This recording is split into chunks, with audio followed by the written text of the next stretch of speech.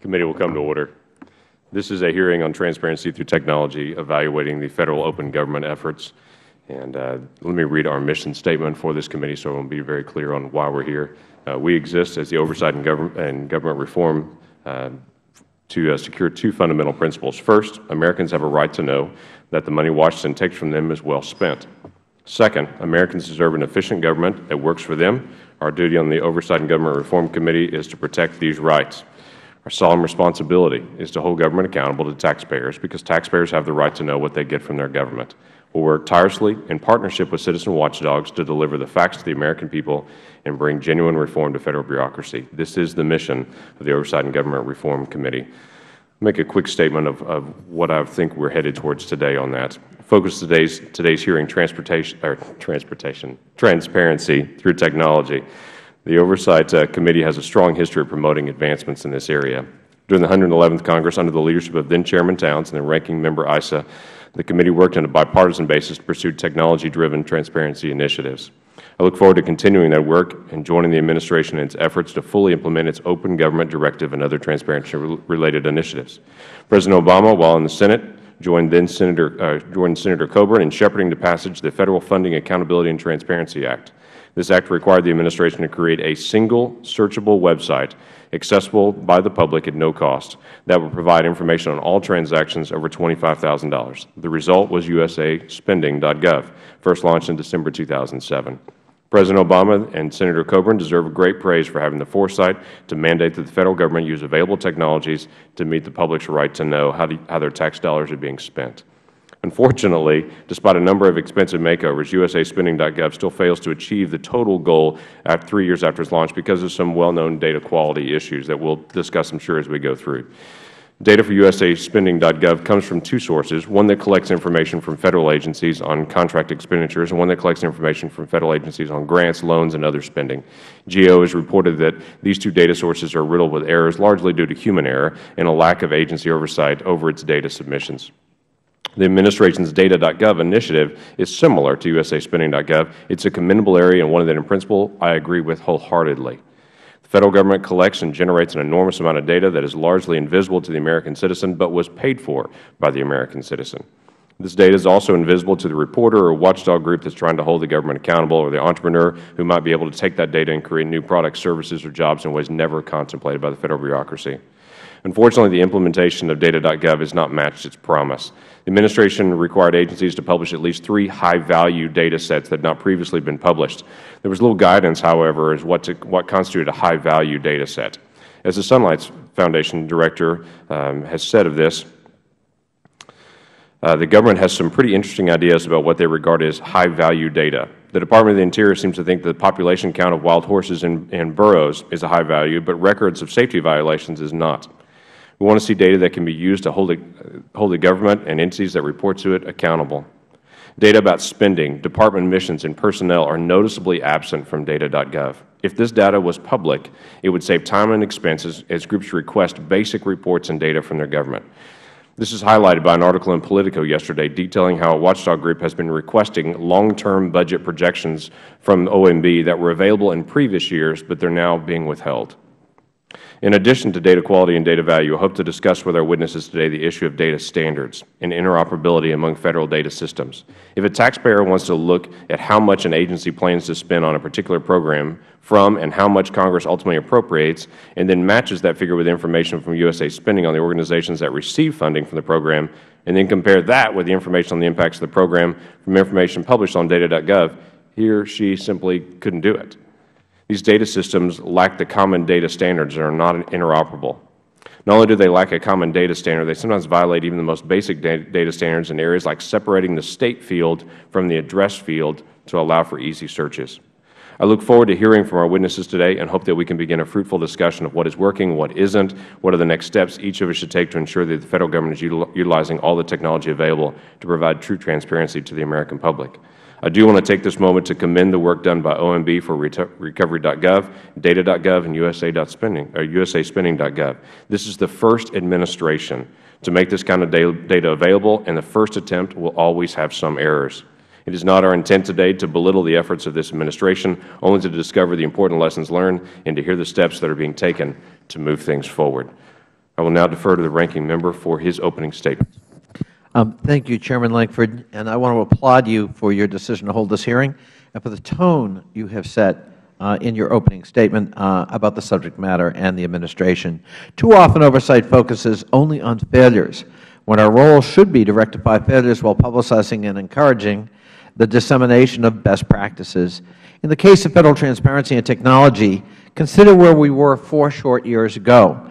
There was no centralized site for citizens to read about Federal spending, projects in the Congressional District, are summaries of investments for major bills like the Recovery Act. Today, citizens can access comprehensive Federal spending information at usaspending.gov. As a result of House rules adopted under the previous Congress, all earmark requests have also been posted on each member's website for each of the last two years. Finally, thanks to recovery.gov, all Recovery Act investments have been readily accessible to anyone with an Internet access. These reforms have been a collaborative effort. Then Senator Obama and Senator Coburn wrote legislation to consolidate information on Federal spending, the result of which was usaspending.gov. The House adopted rules to require public disclosure of earmarks to be posted online. President Obama undertook an unprecedented effort to make public his Administration's implementation of the Recovery Act, as well as information technology and other investments.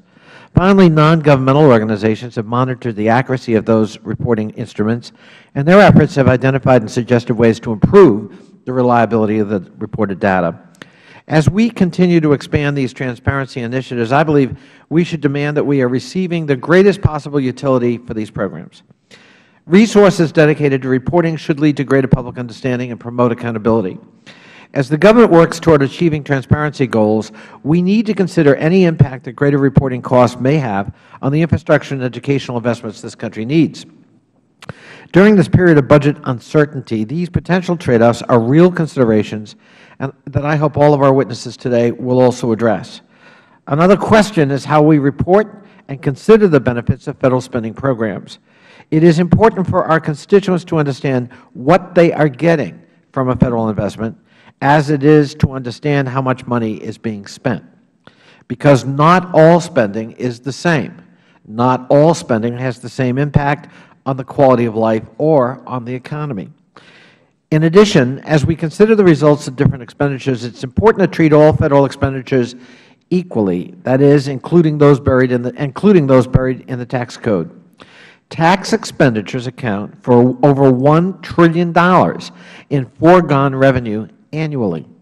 While tax expenditures differ from other spending in form, in reality these are simply spending and policy programs administered by the IRS. Of course, many tax expenditures have a valid purpose, but as a whole, they do not receive the same scrutiny as direct expenditures, even though they have the same impact on the Federal budget. They are not listed on usaspending.gov and are not subject to the accountability mechanisms that apply to other forms of spending. The Fiscal Commission recommended that Congress carefully consider the impact of tax expenditures on the budget and I believe that this committee should look into those opportunities to make sure these IRS-administered spending programs are working for all Americans and not just those receiving the tax break. I look forward to working with members of the subcommittee and with you, Mr. Chairman, to ensure that we are working toward this comprehensive presentation of Federal expenditures and their impacts. And I yield back. Thank you. I would like to uh, recognize, as many of you may know, this is a subcommittee of Oversight and Government Reform. We do have the committee chairman for the committee as a whole uh, here, and uh, I would like to recognize Chairman Issa for an opening statement. I thank you, Chairman, and I would also recognize that the full committee ranking member is here.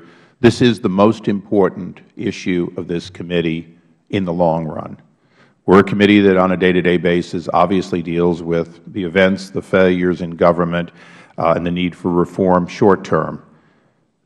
Today, like every other hearing that is about oversight, transparency, and getting it right, particularly in data reporting, we are dealing with what is ultimately going to be the fix.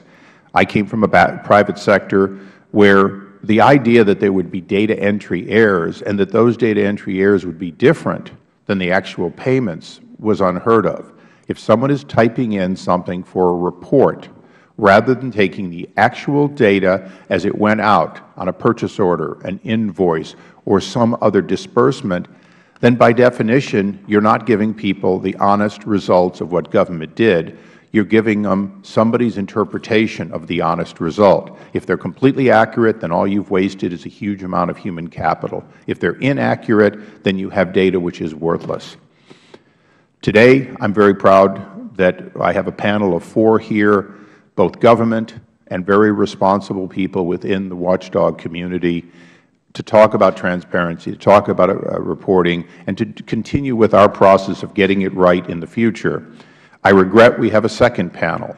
We have a second panel for an inexplicable reason that OMB has told us that they will not sit with non-government entities, that they have a long-standing policy. I have been here only going on 11 years, but it is not that long a policy. I would hope that in the future we can have the responsible people who are in the data use business and the data transparency business as often as possible, when appropriate and vetted, with the government people who are charged with working to do that. Today's hearing is not the first, and it won't be the last in this process. Until every dollar from the time it leaves the taxpayer's account, or, and for that matter, uh, the, uh, the, the dollar deposited when you want to go into a Federal park until the last dollar is spent and dispersed, either used to pay a Federal employee or dispersed through the system in the private sector. Until that is accounted from womb to tomb, we will not have done our job. When we get to that point, then the job that we all want done, which is full accountability with virtually no loss, theft, or waste, will be possible. Today it is not possible. This hearing is important because the failures to get the data right is the reason that ultimately we are not getting the responsible government. And day after day, when we are told $100 billion, $200 billion, $300 billion would be saved if we simply stopped disbursements to people or to entities which do not deserve them. So until we get there, this committee will have no more important issue than the one we are here today. This is a subcommittee hearing, but you have both of the Chair and Ranking Member for the reason that the work you are doing is the most important work of the Congress. Thank you. I yield back. Thank you, Mr. Chairman. I would also like to recognize the ranking member of the uh, entire committee as well. Mr. Cummings, glad that you are here. Uh, would be welcome to receive your opening statement. Thank you very much, Mr. Chairman, and um, to Chairman Lankford and Ranking Member Connolly certainly to uh, Chairman Issa and uh, other members in our panel. It is certainly a pleasure to have our witnesses here. And, you know, I was just um, listening to all of what has been said. And it is true that you play a very important role. Right now, we are in a big struggle here in the Congress just this morning I had to explain to some Morgan State University students why it is that they are, many of them may not be able to go to school next year uh, because their Pell Grants are being slashed. I, and it's painful because many of those students will never return to school. They'll never go back, come back. We were losing, I sit on the board of that school, and have been there for the last 12 years. And we were losing students even with the Pell Grants as they are, but when they get slashed, it gets worse. Then I thought about on, as I was just sitting here, thought about a town hall meeting I had on Saturday where people came up to me and said, um, we've got 250 kids in Head Start but we got 750 on the waiting list. And so what does that have to do with all of this? It's about accountability. I agree with Mr. Issa, Chairman Issa, that we need to account for every single dime. If money is not being accounted for, there's a major problem. And that's a sad situation, particularly in a country where we can send folk to the moon, but we can't keep up with where the money is going. That's a major problem.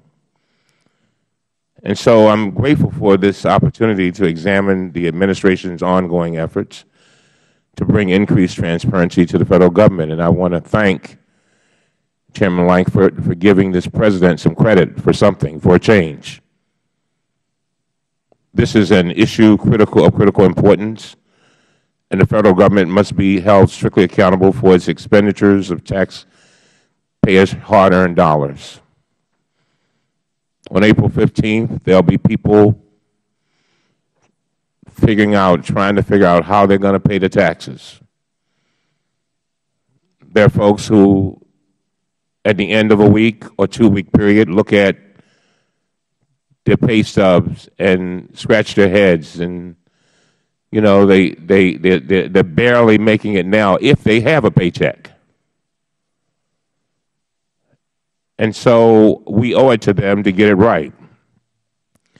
The passage of the Federal Funding Accountability and Transparency Act of 2006 and the establishment of the USASpending.gov as required by the Act have given the average American unprecedented ability to track Federal contracts and grants.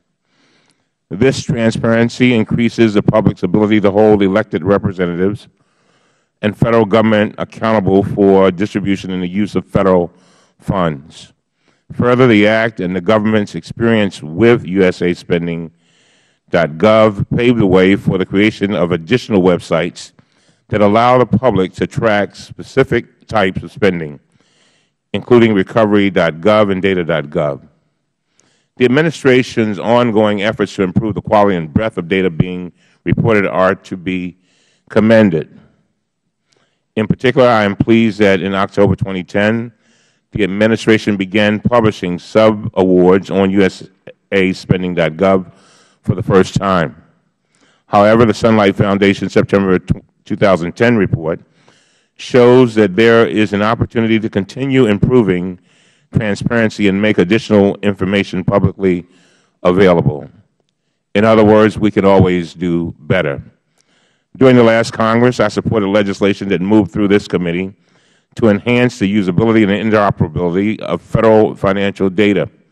I look forward to working together in a bipartisan manner to advance such legislation in the Congress. OMB must also work to ensure that USASpending.gov implements mechanisms to improve the timeliness and accuracy of its reporting to the public. However, we should also be mindful that the pursuit of perfection in the reporting of spending data imposes real financial costs, both in dollars and manpower, and such costs must be weighed against the benefits they will yield. I look forward to the witnesses' views on the issues today. And finally, let me say this. Any accounting of costs of government spending is inherently incomplete unless it also includes data detailing the revenue lost to the government through tax breaks and incentives to the wealthiest individuals and businesses, including businesses that move jobs overseas as children will be thrown out of Head Start or never get a Head Start, and as young people are thrown out of colleges. I look forward to the testimony of our witnesses and to working with Chairman Lankford and certainly Chairman Issa and Ranking Member Connolly to identify and address areas where the Federal transparency efforts can continue to be improved. And with that, Mr. Chairman, I thank you and I yield back. Thank you. All of the members will have seven days to submit opening statements and other materials for the record. I'd like to now welcome and introduce the members of the panel. Then I'll lay some basic ground rules, and then I'd love to receive your testimony from there. Uh, Ms. Ellen Miller is the co-founder and executive director of the Sunlight Foundation. She is the founder of two other prominent Washington-based organizations in the field of money and politics the Center for Responsive Politics and Public Campaign, and nationally recognized expert on transparency and the influence of money in politics. Thank you for being here. Mr. Chris Smith is the Chief Information Officer for the Department of Education. Mr. Smith previously served as the Chief Information Officer for Rural Development at the U.S. Department of Education and as the Information Technology Director for Financial Information at the General Services Administration. Thank you.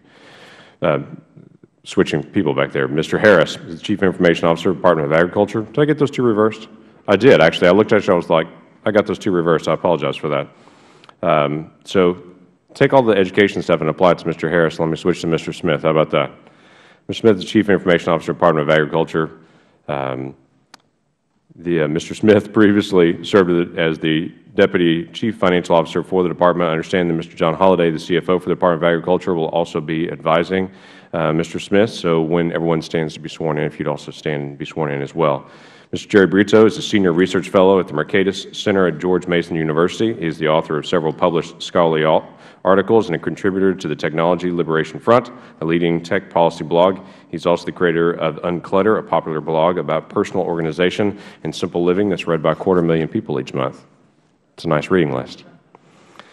Uh, let me uh, give you a, the ground rules for our hearing itself here. Uh, each of you has been asked to submit a written statement for the record. We have also asked you to prepare an oral statement no longer than five minutes. We will allow time for question uh, on your statement after that. You will see on your desk a series of lights and a clock, which will count down from five minutes. The lights will change from green to yellow to red when your time has expired, and it will be time at that point to quickly wrap up. After all the panel has given their oral statements, each member will, uh, present will have five minutes to ask questions of the panel. Many members uh, may have several questions, so it is very important that you answer your questions very concisely. Uh, do, do, not feel you have to give a lengthy answer on anything. Please also forgive the members of this committee as we excuse ourselves. Most of us have multiple committee assignments going on this morning. We are juggling concurrent meetings. Uh, Mr. Connolly just had to slip out and head to the floor of the House as we have things going on there as well right now. Your testimony will be recorded and it will be available for review by all of us, and I can assure you is written down in every every bit of it, and we'll be able to review it in days to come. So thank you. Though each member completely chooses the content of their five minutes of questioning, I'd ask that members honor our guest time and attendance by prioritizing answers and information from them instead of making speeches. I'd also ask all of our members not to ask a question past their five-minute time. Once it has expired, as the Chairman, I reserve the right to remind everyone that time has expired and ask for, ask for proper decorum in our, in our hearings. We will have two panels this morning. Uh, the first will include Mrs. Miller, Mr. Smith, Mr. Harris, and Mr. Brito. The second will have only Mr. Werfel. It is my understanding that the Office of Management and Budget did not want to sit on a panel with non-government witnesses, so we have honored their request for Mr. Werfel to be separated from the other witnesses. we will hear his testimony. We will hear the testimony of the first panel. When we conclude that testimony and our questions, we will immediately move to the testimony and questions from Mr. Werfel individually. We are very grateful for all the time you have committed to preparing your written and your oral statements and the time you have given away from your family for this hearing. Do you understand all the ground rules of this hearing? Thank you. It is the policy of the committee that all witnesses be sworn in before they testify. For all of you that are uh, going to be doing any testimony, would you please rise? please raise your right hand. Do you solemnly swear that the testimony you are about to give this committee will be the truth, the whole truth, and nothing but the truth, so help you God? Thank you. Please be seated. I'd like to recognize Mrs. Miller for five minutes. Thank you. Uh, thank you, Chairman Lankford, uh, Ranking Member Connolly, um, and um, uh, Mr. Cummings, um, and members of the committee. Thank you for the invitation to appear before you today. My name is Ellen Miller, and I am co-founder and executive director of the Sunlight Foundation, a nonpartisan, nonprofit dedicated to using the power of the Internet to catalyze greater government openness and transparency. We take our inspiration from Justice Brandeis's famous adage, sunlight is said to be the best of disinfectants. The public has a right to know how its government works. Recent Congresses deserve congratulations for taking concrete steps toward embracing a 21st century vision of transparency. Initiatives from this administration, like the Open Government Directive, are emblematic of a willingness to take transparency seriously. Unfortunately, the Open Government Directive's value has proven to be largely aspirational. While establishing positive transparency norms is hugely important, we believe that government must now focus on the harder challenges. It is no longer enough to acknowledge transparency's importance. Transparency initiatives must be accurate, complete, and useful as well as timely. There is perhaps no better example of the tension between show and tell than usaspending.gov. Disclosure of the ways in which the public's money is spent is among the most important types of government transparency. Congress recognized this in 2006 with the passage of the Federal Funding Accountability and Transparency Act, which required that information about Federal grants, contracts, loans, and insurance be placed online in a searchable website known as usaspending.gov. In the course of their work, Sunlight researchers have become deeply familiar with the data powering usaspending.gov. As we began to examine these systems, we were aware that the quality of the data sets was widely considered problematic. Our work quickly confirmed that data suffered from irregularities. However, we were anxious to reach an even more complete understanding of the problem, so we dug in. In order to do so, we needed a reference point against which we could compare the USA spending data. Unfortunately, the complexities of the Federal budget make both the budget and, Treasury expenditure data unsuitable for that use. We found our yardstick in the Catalog of Federal Domestic Assistance, an index of many Federal programs, including program descriptions and yearly obligation amounts.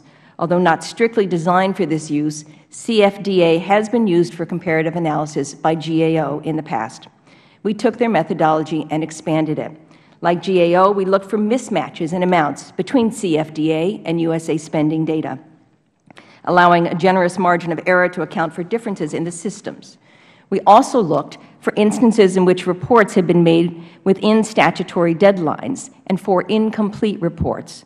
Finally, we automated GAO's sample-based methodology so that we could examine the entire database, which consists of hundreds of thousands of records. The results were sobering. We found over $1.2 trillion worth of misreported spending in 2009 alone. Some of the most serious problems appeared to be caused by the agency's failure to meet their reporting obligations. The USDA website lists the cost of their school breakfast program and lunch programs at $12.7 billion, but only 250,000 of these costs are reported on usaspending.gov. The Maritime Administration has never reported the spending associated with any of its loan or insurance programs and reports only a fraction of its grant activity. These are just two examples. Almost every agency has one or more programs that fail to report their spending and the spending that is often that is reported is often incomplete or incorrect. For example, each loan record is required to include both the subsidy cost and the face value of the loan. Unfortunately, the subsidy cost is incorrectly reported as zero for over 85 percent of the loan records, and the face value of all FY 2010 student loans was reported as $6.9 trillion an amount greater than the entire Federal budget. Clearly, that number is wrong. We do not believe that these problems are the fault of usaspending.gov website or the people that maintain it. Indeed, USA Spending deserves praise for its growth and improvement. When we conducted this analysis, we had to send a hard drive out to Maryland to get the data. Today, we can download it directly from the website. Similarly, we are pleased to see the Administration finally begin to offer the subaward data maintained by FAFSA. But these improvements will be meaningless for the vast majority of users if the underlying data is not reliable. Agencies typically use purpose-built internal systems for managing their spending that are separate from the public reporting systems and much more accurate. In essence, they maintain two sets of books, one of which is habitually neglected. But this latter system is vitally important for both the public and government planning efforts. And until the agencies begin to take these responsibilities more seriously, Federal spending transparency will remain an unfulfilled promise. We welcome the committee's attention to this issue and encourage you to continue to spend time in engaging oversight and legislative efforts on this important topic. Thank you for the opportunity to testify today and my colleagues and I, Tom Lee and Caitlin Lee, look forward to your questions. Thank, thank you. Thank you. Dr. Harris, I'm going to appropriately recognize you at this point, so thank you for being here and we receive your testimony. Thank you and good morning, Chairman Lankford and members of the subcommittee. Thank you for the opportunity to uh, appear before the subcommittee today. My name is Danny Harris, and I'm the Chief Information Officer at the U.S. Department of Education, uh, a position I've had the privilege to hold since October 2008. I'm very pleased to discuss the Department's transparency efforts specific to the Open Government Initiative. On his first day in office, the President sent a memo directing all Federal agencies to create unprecedented levels of openness in government. The Department of Education has taken this directive very seriously. Our Open Government Plan makes our efforts more transparent, participatory, and collaborative. I am personally committed to these goals, and the Department looks forward to building upon the solid foundation put in place during the first two years of this initiative. For decades, the Department has collected, analyzed, and used data to inform our delivery of services. At the Department of Education, we collect data about the overall condition and effectiveness of education provided by the States, local educational agency, and institutions of higher education. A key part of our mission is to provide useful information to States, assisting their efforts to allocate resources to education citizens in the most effective and efficient way. Equally important to our mission is supporting the use of Federal resources toward ensuring fair access to education for all. Open government efforts place special emphasis on providing information to the public, leading to increased transparency into the information we and States use for decision-making. At the Department of Education, we have established a cross-functional team to develop our Open Government Plan, which is available on our website. Also, we have established a governing body to oversee departmental execution of the Open Government Plan and to improve the efficiency and effectiveness of all of the information collection and dissemination activities at the Department. Decisions and recommendations from this Board will and do affect IT spending. This coordinated effort will effectively manage duplicate data requests, it will reduce burdens to the States and local agencies, and it will optimize department-wide data aggregation. At the end of the day, it is not just about the data that we deliver, it is about delivering tools to drive innovation. Prior to implementing open government efforts, we provided similar information in tool sets, allowing citizens to view the information in ways that we thought were useful. Open government altered this framework, and now we deliver the same information in a raw, machine-readable format, allowing citizens to analyze the data and transform those data into useful aggregated information. This access to data has undoubtedly created new insights and views, enabling, enabling previously unthought of ways for citizens to understand, view, and track Federal dollars. The clear benefit is that citizens can now view the delivery of services with comprehensive information, and the public's ability to access and analyze these data make Federal spending transparent. In turn, this helps ensure departments are accountable for results and uh, outcomes. The challenge for the Department is to ensure the quality of this data. We view key attributes of quality as timeliness, accuracy, and most of all, privacy. The challenge for our stakeholders is to establish proper awareness and context for these data. We have already seen positive outcomes as a result of these initiatives. For example, in our Race to the Top program, we provided a detailed description of the process used to review and select the winners of that program. The Department, in implementing Race to the Top, has demonstrated unprecedented transparency by posting all of the applications as well as peer reviewer scores and comments to the public for review. To help spur innovation, our Investing in Innovation team created an open innovation portal, a website where education innovators can share ideas in collaboration, where funders and educators can point out their needs, and where people can gather to propose, develop, fund, implement, and more than anything else, improve solutions inside and outside of the classroom. We take the commitment to transparency seriously at all levels within the Department. For example, in 2009, Secretary Duncan launched, launched his Listening and Learning Tour. He did this to engage the public directly in discussing education reform in America. The Department used the input we received to prepare a blueprint for reauthorizing the Elementary and Secondary Education Act. Transparency through technology provides an opportunity to engage with the public in making the Department of Education more accountable. Specifically, the Department has a significant role in complying with the Federal Funding and Accountability Transparency Act due to the very large number of grants, contracts, and loans that we administer. These funds go to numerous recipients and subrecipients in States and territories, and the public should know where these funds are going, for what purpose, and most importantly, what results they should expect. We submit grant and loan funding transactions on a biweekly basis from our grant system in the Federal Assistance Award Data System file layout. Additionally, we provide our contract funding transactions to the Federal Procurement Data System in real time during contract award. Both our grants and contract systems are integrated with the Department's general ledger. This ensures that the transactions that we submit to usaspending.gov are directly retraceable to our financial systems. Finally, the Privacy Act and Federal guidelines govern how we protect personally identifiable information while at the same time complying with the Transparency Act and other public reporting requirements. In conclusion, I believe that open government, usaspending.gov, Federal reporting, and other recovery websites all work together to put more and better information in the hands of the public.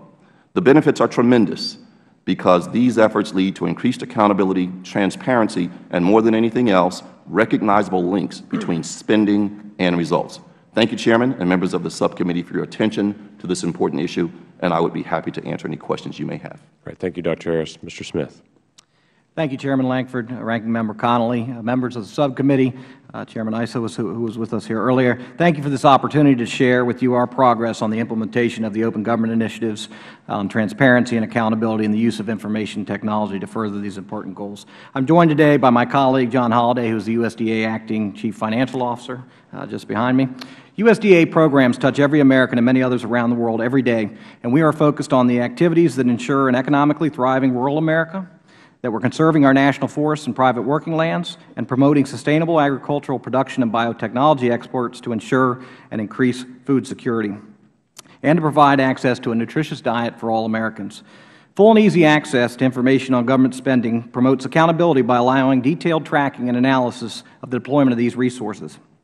This tracking and analysis allows the public and public officials to gauge the effectiveness of expenditures and to monitor spending patterns to achieve the best possible results. Transparency also gives the public confidence that we are properly managing its funds. From the Transparency Act of 2006 to the OpenGov Directive of 2009, government transparency has become the cornerstone for information access to facilitate participation and collaboration across Federal, State, and local governments and with the public. USDA is a strong advocate of government transparency and is striving to meet both the letter and intent of the Open Government Directive. On December 8th of 2009, the White House issued the Open Government Directive requiring Federal agencies to take specific actions to promote transparency, collaboration, and participation.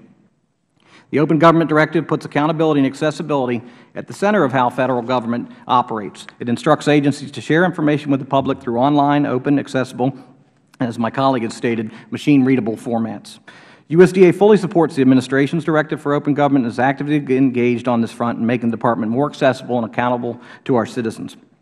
To foster accessibility, USDA launched its OpenGov website in the spring of 2010 and published an open government plan describing how USDA would improve transparency and integrate public participation and collaboration into its activities. With the launch of our website, citizens are able to learn about and comment on USDA information and post their ideas on transparency, collaboration, and actively participate with the Department. The public can also post ideas to help USDA become more efficient and more effective in everything that we do. Additionally, to improve outreach initiatives, USDA has established an open government communication plan which describes USDA's interaction and collaboration and details the activities that we are taking. USDA is leveraging information technology to improve transparency and increase citizen interaction and participation. Two good examples are USDA's My Pyramid and Apps for Healthy Kids, uh, which are innovative approaches to USDA reaching out and encouraging collaboration with the private sector and the public.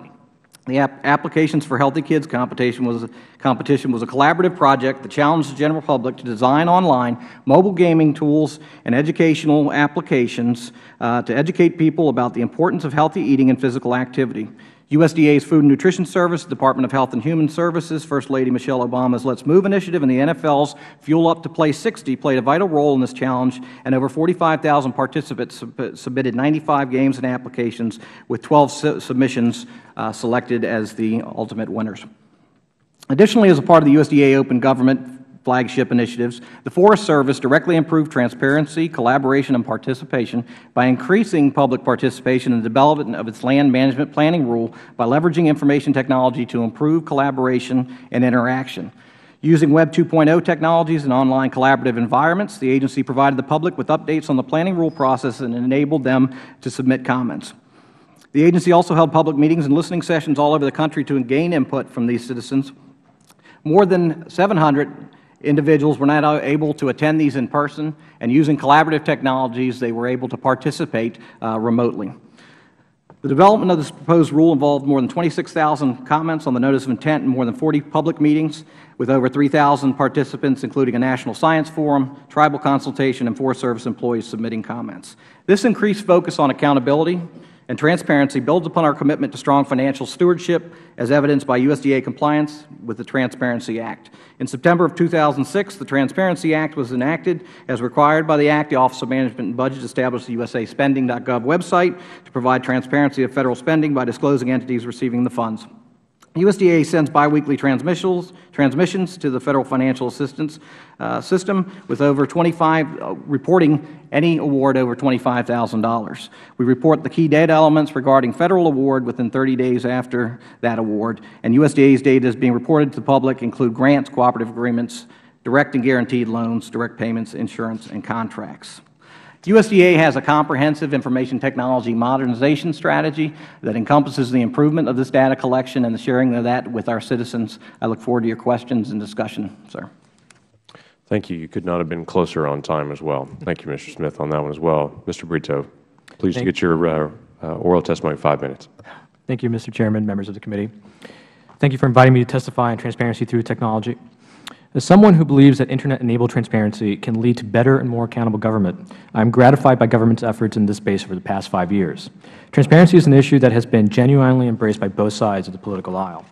And what was once an esoteric concept, that meaningful transparency requires disclosures to be online in an open, searchable, and machine-readable format, has become a generally accepted ideal. Those are great strides. However, despite the Obama administration's technological efforts and congressional legislation like the Federal Funding Accountability and Transparency Act, whether government is performing effectively is still not completely transparent.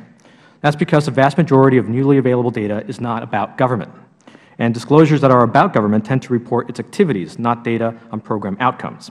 When program outcomes are reported, they tend to be suspect because they are self-measured and self-reported by program managers. On data.gov, the government has compiled wonderful, never-before-available data sets about regulated industries, but little about its own performance.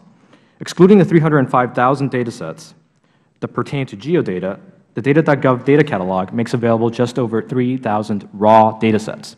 Of these, about half are related to the toxic release inventory compiled by the EPA. These are disclosures about regulated entities that, while very valuable to individuals and researchers, tell us little about the performance of government. A quick scan of the remaining 1,500 data sets reveals that only 200 to 300 report on the activities or performance of government. There is plenty of smoke but little fire. One of the better data sets available is research.gov. This National Science Foundation database of federally funded science and engineering research allows users to search for grants by keyword, location, or grantee, see which grants were awarded and for how much, and learn about the results of each uh, specific federally funded research project. This information is useful in holding government accountable for its performance. Less useful, although no doubt valuable to some researchers, are data sets like one from the U.S. Geological Survey on the effect of fire on Rocky Mountain olive-sided flycatcher bird nests. Spending transparency sites like usaspending.org and the recovery.gov site are also useful because they disclose government's actions. They allow citizens, watchdogs, bloggers, and reporters access to the raw data of the business of government, and it allows them to make creative uses of the data, including making interesting mashups and allowing them to crowdsource accountability. However, these types of sites are not perfect. As the Sunlight Foundation and others have pointed out, the quality of the data available can be sorely lacking. Also, until recently, only information about the primary recipient of a contract grant uh, award or was available on usaspending.org, thus limiting the usefulness of the site. More broadly, while spending sites can help uncover instances of fraud, waste, and abuse, which is very important, they, they are nevertheless less helpful in measuring performance because they simply disclose, disclose outputs, amounts of money dispersed, the recipients, and simple descriptions of contracts or grants. To determine whether a program is performing as intended, the public needs information not only about outputs, but about outcomes. With a Federal spending crisis on our hands, Congress must soon decide which programs to cut and which to keep. Voters will have to decide if they support Congress's choices. The whole process would be much easier if information existed about the relative performance of government programs. In the private sector, a corporation must disclose its earnings, as well as its expenditures and assets on a quarterly basis. Such an objective measure of performance not only allows the market to set a stock price, but it also allows shareholders to hold management accountable. Now, think of government transparency. All agencies and programs disclose their expenditures in an annual budget and through sites like usaspending.gov. What government does not report are earnings figures for the simple reason that there are none. Therefore, a government program may be transparent, and yet the public sees only half of the balance sheet. Congress tried to solve this problem with the Government Performance and Results Act. The problem with GPRA performance reporting, however, is that uh, the very managers that run the programs are charged with developing performance measures, measuring their own programs, and writing self-evaluating performance reports. Even in the NSF's research.gov site, which I mentioned, it is the award recipients who write the performance reports. In the private sector, Congress has recognized that this doesn't work. Congress has required that publicly traded companies must hire independent third-party auditors to help prepare and certify reports. And the Sarbanes-Oxley uh, Act, uh, uh, um, corporate managers are personally liable for the veracity of those reports. Congress might want to consider similar, similar independent audits of agency performance reporting. I'm looking forward to the launch of the new Performance.gov initiative by OMB, which promises to provide data-driven reviews of progress toward clearly defined goals at Federal agencies. Those reviews, however, won't be very meaningful if they are self-reported or based on shaky data. The progress Congress and the Obama administration have made in making transparency, and especially online transparency, a key objective for government cannot be overstated.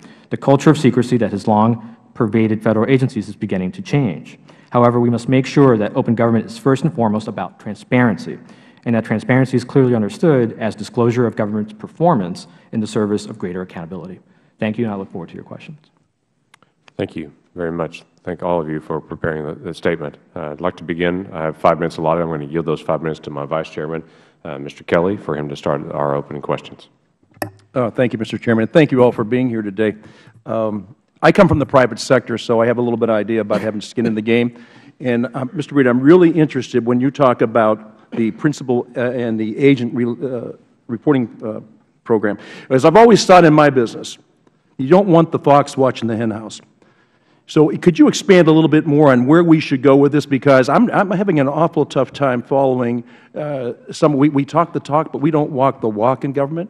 And we tell you how you should do it, but we never do it ourselves. So if you could just expand a little bit on what the purpose would be in having an outside agency looked at. Because in my business, I always bring in outside auditors. I would never, ever do it internally. It gives you a false picture. It gives you a completely unrealistic idea of what's going on with your business. And I will tell you, the number one thing that I find out when we hire a new person, they come in after their first pay and they say, I, I thought I was getting paid more. I said, well, this is what we paid you. Now look through all the deductions, and this is what you're taking home. So there's a huge difference between what we pay and what they take home. And they asked me, where did it go? I said, well, take a look, and you can find out. It went to the government, and they said, well, what the heck are they doing with my money? I said, you know what, that's anybody's guess, isn't it? So if you could just tell me a little bit about what you would suggest as far as outside auditors. Sure. Well, uh, economists will talk about a concept called principal agent problem, which is very simple. You, uh, let's say you have a corporation which is owned by shareholders, thousands of shareholders. They hire a board of directors to manage the corporation. The board hires a CEO and the management. Now, the board can't be behind watching the CEO all the time. Um, and, and so for that reason, I mean, that's the very reason why they hire managers to manage a corporation. Um, quarterly, yearly, the board meets to review the performance of management. Uh, how do they, uh, what sort of data do they look at? Well, they look at profit and loss, and it's very clear. Uh, with government, we don't have profit, profit and loss, so we need to uh, develop performance uh, measurement. And what the way that works is very simply, this is what Congress did in the Government Performance and Results Act, which is that for a program, uh, the agency, before it begins a program, needs to say, uh, these are the results we expect to achieve. These are the data-driven measurements that we will use to determine whether we met those results. And then at the end of the, of, of the period, whether it's a year or quarterly, uh, you measure and you see whether you met those results. If you didn't meet those results, well, then Congress can can go look at that program, see how it can be fixed, see if it needs to be eliminated. Uh, unfortunately, the, uh, the responsibility of creating the measurements, of measuring, and of reporting is all on the very same agency that runs the program. And, and so that creates, again, this principal agent pro uh, problem. In the private sector, you wouldn't expect simply to take management's word about the performance of the company. You bring in a third-party auditor. That's required by Congress. But even if it wasn't required by Congress, I would suspect uh, that um, uh, shareholders and board members would want to audit the information presented to them by management. And so that, that's, what, I'm, what I'm suggesting is that we take a lesson from that uh, uh in the private sector and, and bring it into government. And, and I respect your, your, your uh, statement that we don't have profit, or I would say we do have loss and, and I've never seen any business that could run this way consistently, a trillion dollars in the red for three straight years and feel that, hey, we're, good, we're doing all right. Uh, Ms. Miller, and one of the things I found interesting is in your written testimony, it, it says that one of, the, one of the goals or the mission statement, sunlight is said to be the best of disinfectants. And, and I would ask you, and, and, and also, Mr. Brito, USAspending.gov and Recovery.gov have been criticized for not containing the information that citizens are most interested in. What information do you think is most important, and which should be made more public? Um, well, um, I'll be glad to, to answer that. I think um, our criticism uh, with respect to the, the availability of data really applies to um, data.gov. Um, and we certainly agree with uh, Mr. Brito's assessment in terms of the amount of data that is actually on that site. Some might advocated with the administration that all the data that is made available by government be made, made available in machine-readable formats. And as you heard from our uh, government colleagues here, um, the administration has done that. Um, but there is just very little information that's made available. It is hard for me to sit here as a resident of Washington, D.C., uh, and say what someone in your city uh, would be most interested in. But Sunlight has been exploring some of this, and, and we know people are interested desperately in health care issues. They're interested in education issues. They're interested in consumer-related banking issues. And so we're beginning actually to develop apps from the publicly made available, uh, the data that's been made available either on their own websites or on data.gov, uh, to, uh, to move into this sort of consumer-facing information that, that our best instincts tell us need to be there. It has not been easy to find this kind of data immediately accessible. Uh, we just we need more of what citizens need, and and the I think the administration and the various agencies have been asking citizens what do they need. Again, to their credit, we have to sort of pull back in maybe another six months and and try to assess that as government. Okay. Thanks very much. My time's expired. Yeah. Thank you, Mr. Chairman. Thank you. Recognize Mr. Lynch for five minutes. Thank you, Mr. Chairman. I want to thank the members of the panel for helping the committee with its work. Uh, I listened closely to, to your testimony, and uh, I just want to ask, Ms. Miller, uh, you reported uh, that uh, from the USDA website, uh, they had listed the school lunch program, the cost of the school breakfast and lunch program, excuse me, here in the United States was $12.7 billion. However, according to the USDA, uh, their website lists the costs at about $250,000. Uh, actually, I think it was spending.gov that actually uh, listed it that way. And then we heard from Mr. Smith, God bless him, and it sounds like everything's going great over there. And I'm just wondering if, uh, you know, the, is that is that how you, uh, if you've assessed the accuracy of the USDA reporting, uh, how, how would you, uh, how would you uh, grade them, I guess? Well, well, we don't grade the agencies because I think all of them are struggling. So if we had to say which was better than the others, as I mentioned in my testimony, uh, almost I don't think there's a single agency that would get an A. So there, there are failures of, of different kind and substance throughout the agencies. Why those spending um, amounts are recorded so differently, I honestly cannot answer, but I suggest Mr. Smith might be able to, to answer why yeah. we see such discrepancies. Well, well let, let, me ask you then. You, you say that uh, across the board that uh, agencies are keeping two sets of books, and this might be one example of, of that. They keep a, it may be. a set of books for operational purposes, but then when they report to the taxpayer, to the public, it's in a different format, and it it's difficult to reconcile. How, how do we uh, how do we require that uh, the agencies reconcile that difference and, and give us usable, usable information? Because I, I do agree with my colleagues that sunlight is, is the best disinfectant, and that's the responsibility of this oversight committee to find out, you know, how much uh, is being spent, where it's being spent, is it being spent wisely.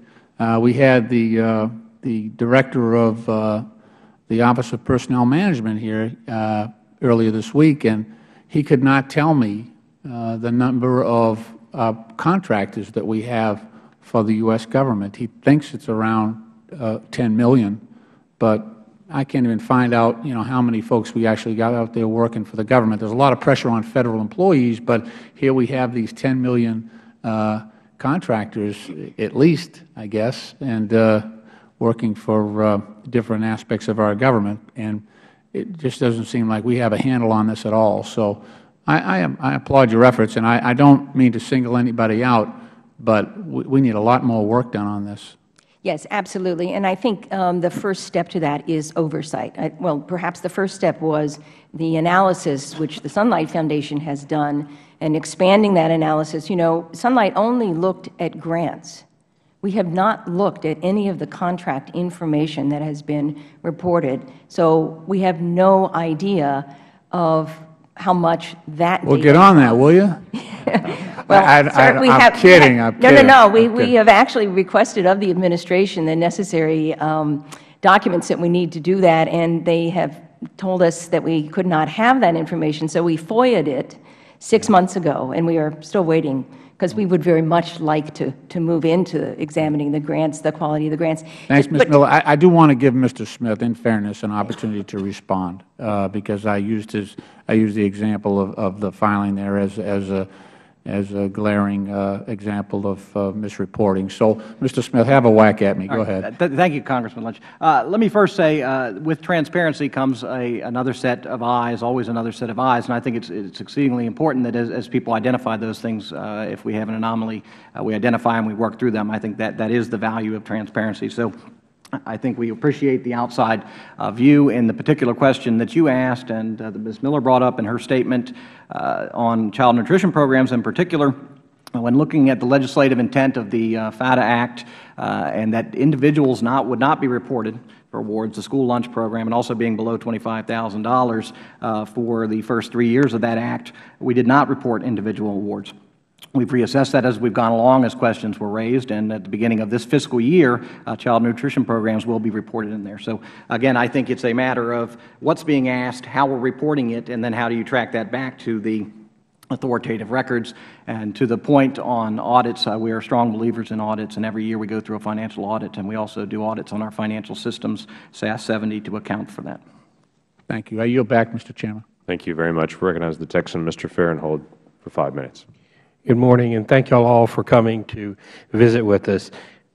I, I just have a broad overview question. Do you think part of the data problems, and I guess I'll direct that uh, to uh, Mr. Smith or Dr. Harris because you work within the agencies, is is there some level of accountability for the data that you report? I mean, is there what procedures do you have in place to check that the stuff that you're publishing both on your website and sending to some of these collector websites is accurate?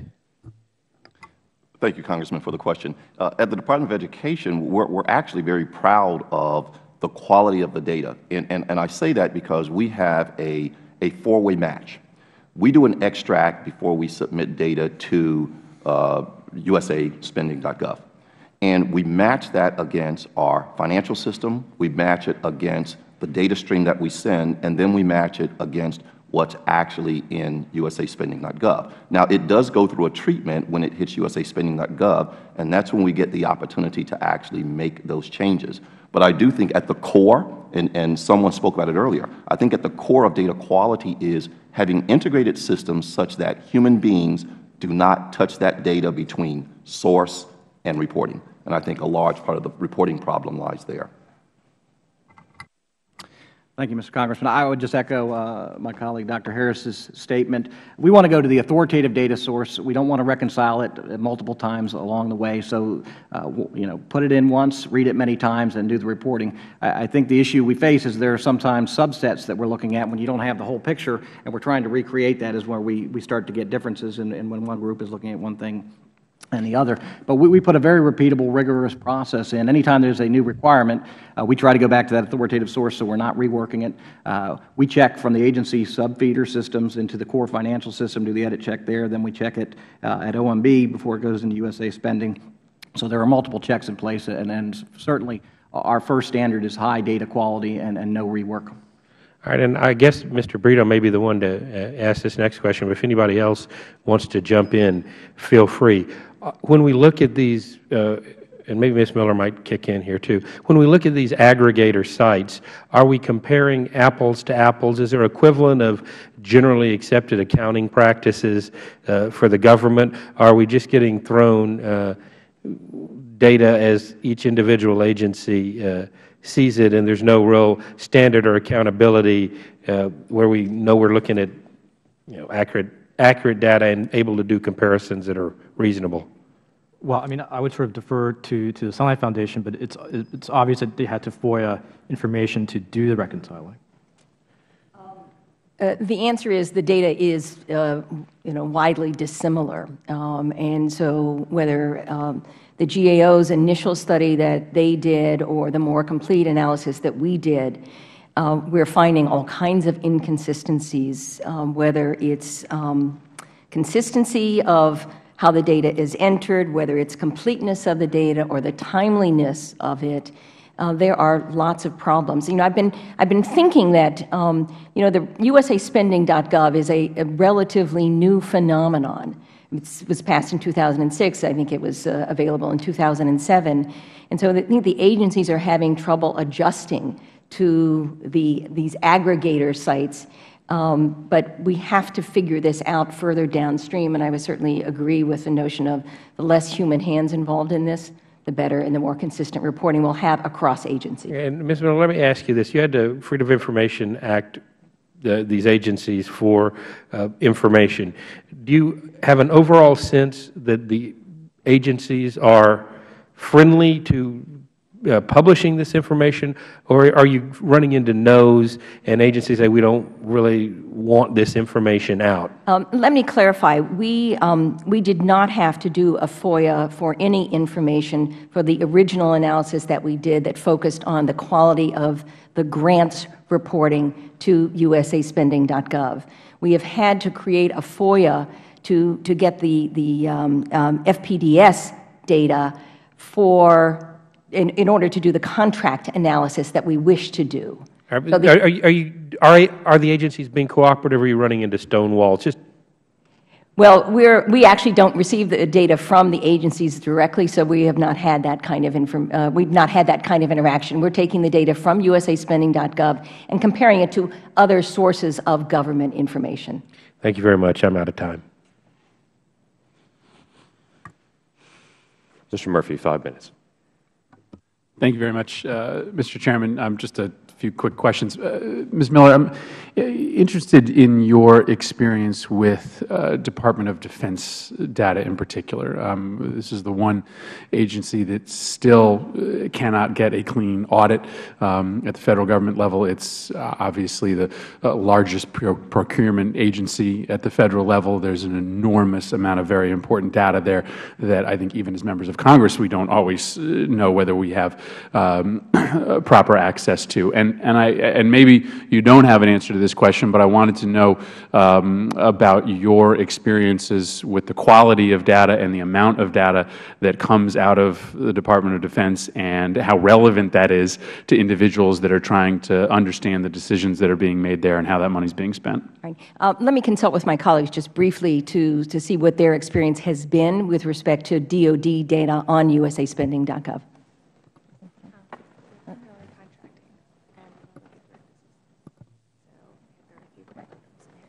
Um, my colleague um, Caitlin uh, Lee uh, reports that most of what happens at DOD is done through contracting. They do very little direct grants. We've only looked at the grants. But if we receive this FOIA information that we have requested, we'll be able to report on that in about six months. So I'm, I'm sorry, we don't have that information. Well, I, I, I, bring that up because as we try to uh, grapple with a lot of complex spending questions, I think what uh, members find is that even, even we don't have uh, access to important data. Certainly the public doesn't, and Mr. Brito is shaking his, uh, nodding his head, so I'm uh, happy to give you a, a, chance at this question as, as well. But as a for instance, um, you know, when it comes to contracting decisions, what we found is that over the last uh, several years there has been a, mouse, a massive outflow of contracts contracts to overseas companies, and we get uh, just a shadow of data regarding those contracts. We know, for instance, uh, from year to year how many waivers to the requirement to purchase here in America are granted, but we don't know anything more. Um, we get a report on the number of waivers, but we don't know what type of waivers they were, why the waivers were granted. Uh, and so there is a larger conversation from a statutory perspective that has to happen about what kind of data the public receives um, from the Department of Defense. But I will be very interested to hear the results of your contracting audit going forward because I think there is a, a frustration in the public, especially with regard regard to DOD data. And Mr. Brito, you are nodding your head, so I am happy to give you a chance at that as well. The only point I would like to make, bringing it back to performance data, is that uh, DOD is one of um, uh, the least successful when it comes to performance data. One reason perhaps is that they have a quadrennial review process, and they sort of feel that is the place to do it. Um, when we talk about um, having requirements that an agency head certify performance data, um, the, Depart the uh, Secretary of Defense for, uh, let's see, the- during the Bush administration, never signed um, the, the, the, uh, uh, the certification, never uh, uh, did. So that's something that we need to focus on. And just to switch uh, topics, um, uh, back to you, uh, Dr. Harris, um, on this issue that was uh, brought up earlier on student loans, um, you know, the uh, total amount in student loans on usaspending.gov is, you know, somewhere just south of $7 trillion. It's clearly not the right number. Um, and I wanted, just before the panel was up, to give you a chance to uh, maybe explain why uh, that number appears on, on the website and uh, what happened there. Thank you, Congressman Murphy, for that question. In fact, I was going to jump in when uh, Congressman Farenthold raised the issue of aggregation. Uh, in my investigation, uh, while I certainly agree with uh, the assessment by uh, the Sunlight Foundation that there is a tremendous amount of work we need to do in improving the timeliness and especially the quality of the data, in the instance of the $6 trillion uh, loan anomaly, in my investigation I have found that it is more an issue of aggregation. And, and, and here is what my investigation led to. When we report the loan amount to uh, USA Spending, we are, the instructions tell us to report it at the face value. And in fact, every single time we report for that specific loan, we report it at the face value. Sometimes it goes up and sometimes it goes down based on activity against that loan. But if you aggregate that, unlike other data elements that you can aggregate and they give you an accurate amount, if you aggregate that amount over time, you are going to come up with a ridiculous number. But this is where context becomes the biggest issue we have with open government reporting. Uh, we have to do a significantly better job at informing the public on not what just the data set means, what the data attribute means. So we believe it is the aggregation that was incorrect. When I look at the data on usaspending.gov, it is accurate for the Department of Education. Thank you. Mr. Walberg, five minutes, please.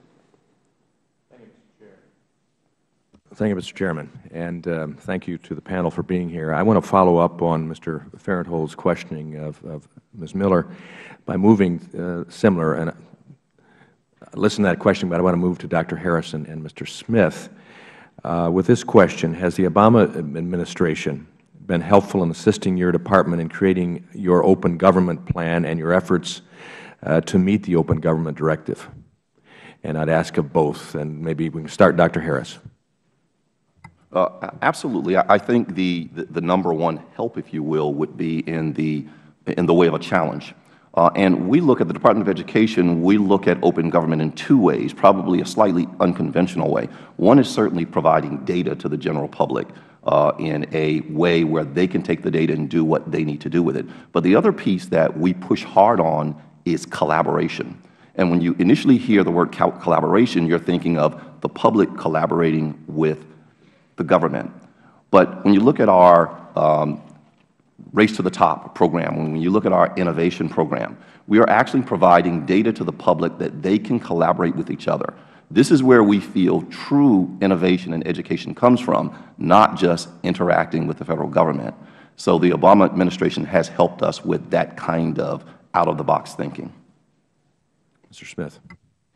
Thank you, Mr. Congressman. Uh, yes, I think it, it was a, a very uh, collaborative effort. Uh, as Dr. Harris has said, uh, the Secretary asked me to serve on a working group that the White House convened, and I think every agency was asked to do that, and we worked through. And I, I think a testament to that is um, Ms. Miller and other groups such as OMB Watch being invited also to comment as we develop these plans to make sure that we had a full and open uh, conversation as each, and each agency developed their plans, and we shared those plans across the Federal Government and sought to put out the best product, and then we iterated those as we went forward. And I think one of the most important things is that as we are looking at transparency, collaboration, and participation, how does that drive the mission forward? What's the economic impact? If we're putting data out there, what's the ability for citizens to take that and have an economic impact for us in those rural areas, or if it's food safety? Uh, how do we push the nation forward by being more open, transparent, accountable?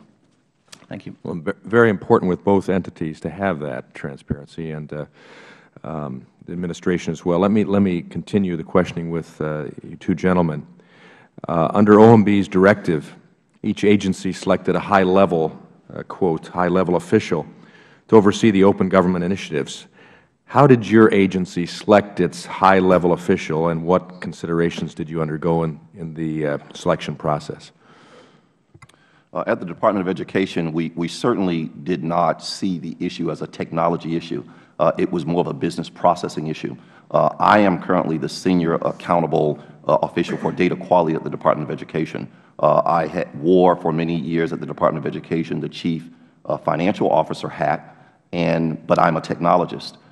But what's more important is as the official, I bring together individuals, subject matter experts from the program offices, subject matter experts from finance, and subject matter experts from uh, technology to make sure that we get it right. So that's kind of how we did it. Mr. Smith. Uh, sir, the Secretary asked me to take the lead, uh, but it was very clear that I myself was not going to get this done, so we had a team-based approach. We built a, a, rigorous governance structure around it. It was uh, myself and the Deputy Undersecretary for Natural Resource and Environment, and we have a, actually have a, a meeting, a standing executive steering committee made up of undersecretaries, deputy undersecretaries across all the mission areas uh, to ensure that we continue on this effort and make steady progress. Okay. Thank you. I yield back my time.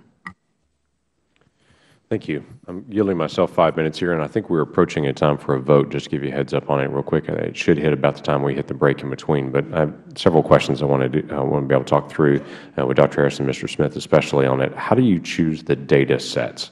Uh, from what I'm seeing, what's coming out, there was a requirement to get at least three high-value data sets. How were those chosen? What was the process you went through? If you could be brief, I've got a ton of questions. Sure.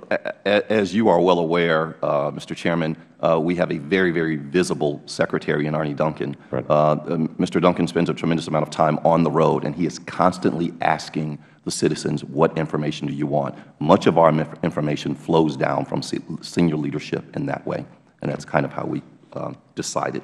Okay. Well, I'll come right back to that as well. Go ahead, Mr. Smith. I think I, I, just alluded to it. We tried to apply a lens uh, to all our data sets that said how are we pushing the economy forward, how what's the value of these data sets from safety and security uh, of the food supply in every mission area, increasing exports. How can we put information out there that furthers the goals uh, of the nation as we move forward? Now, would that be for data.gov or USA spending, or would that be the same for right. both of those? We applied this to any data, any, any information asset within our mission areas. When you're choosing, as far as priority of where to put things, obviously your agency has a very good website for both your agencies and the information that are out there. When you're choosing information, where does it land? The agency website, data.gov, usaspending.gov, all the above? Uh, how do you, uh, there are multiple other portals that are out there as well. Actually, all of the above. In fact, prior to USA Spending, data.ed.gov provided 20 tool sets and data sets out there for our customers and clients to use we actually looked at how that data was being used and asked the question, what part of this data do you like, what don't you like?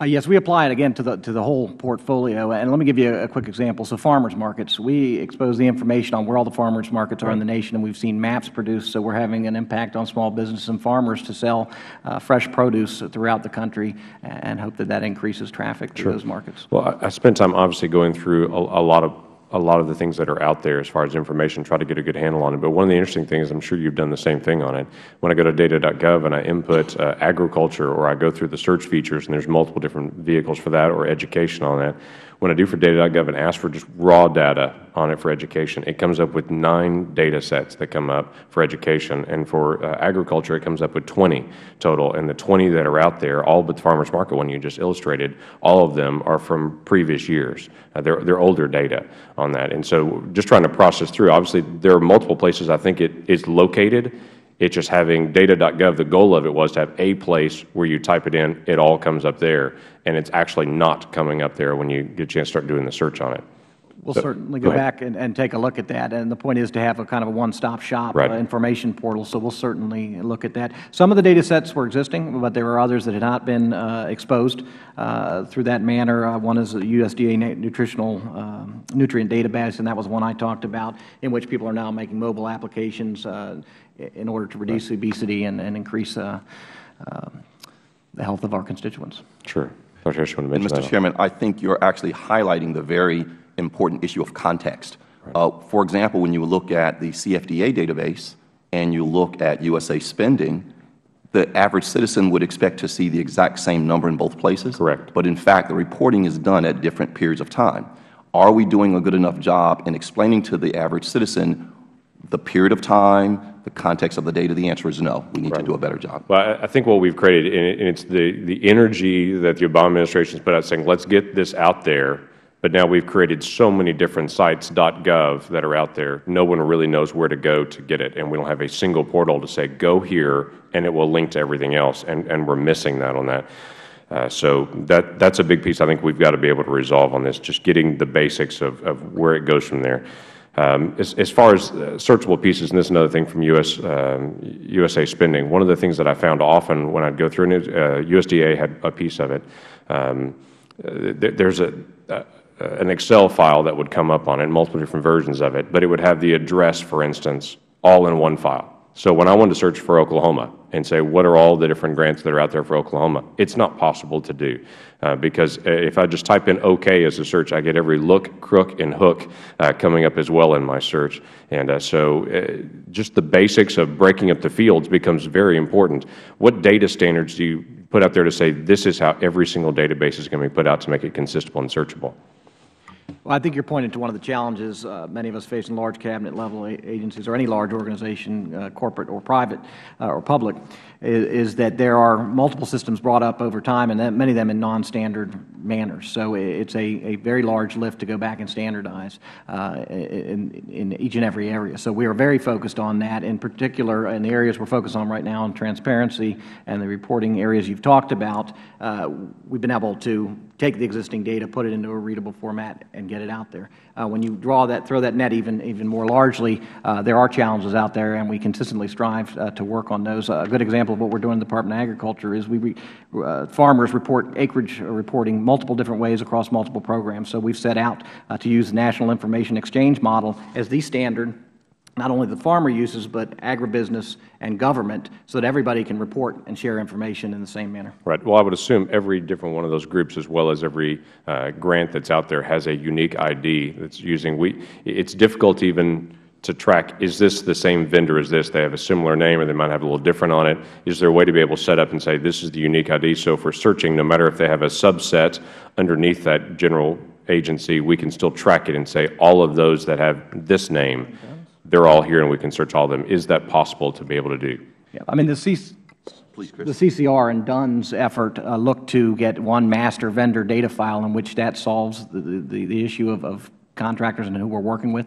And I think it, we made great strides on that front, but it, it remains an issue that we're working on constantly to keep that, that data clean.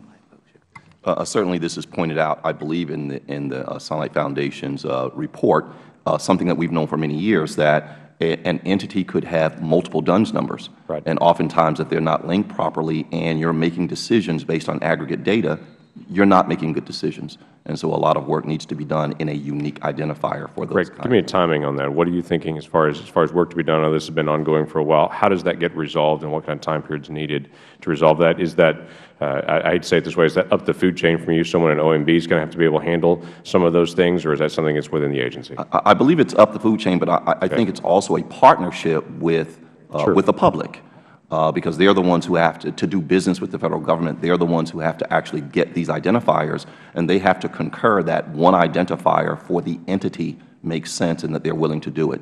So, but to answer your question, how far away is that? I don't believe we've even started in really aggressively attacking that issue.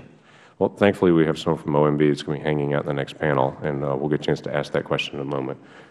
Looking to see if there are other members that have approached. My time has expired on that, but I want to thank you very much for coming. We will have a panel that will be following immediately. If you'd like to be able to stay around, we have votes that are going to be happening momentarily, and to be able to hear Mr. Werfel's comments, or you're to be able to leave as well.